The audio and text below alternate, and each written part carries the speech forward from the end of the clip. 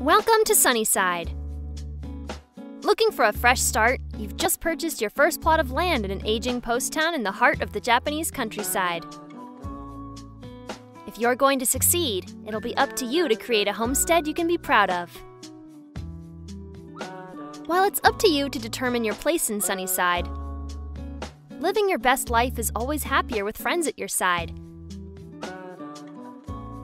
And though it's seen better days, this beautiful town from the Edo period certainly has no shortage of potential friends.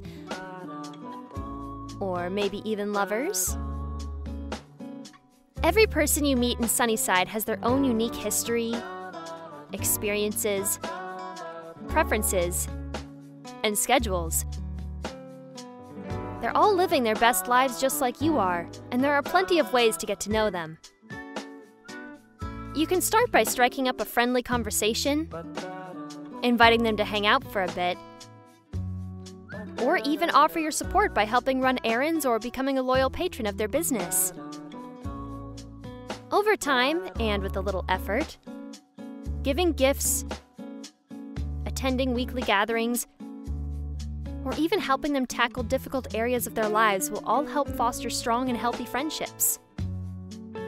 With some of the Sunnyside locals, friendship might not be enough for you. And you'll quickly find yourself wondering how you can take your relationships to the next level. It doesn't have to get awkward though. Simply take the plunge and invite someone out on a first date to get the romance flowing. Then see where the ride takes you. Living in Sunnyside is about so much more than focusing on your own homestead. It's also about fostering relationships and supporting the town as its people also support you.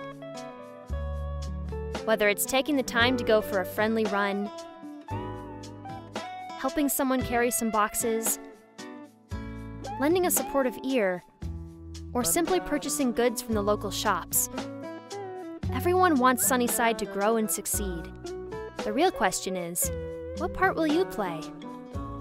Make friends, develop romances, chase your happy. It's all waiting for you in your new home, Sunnyside. After this, why not check out our next video on combat?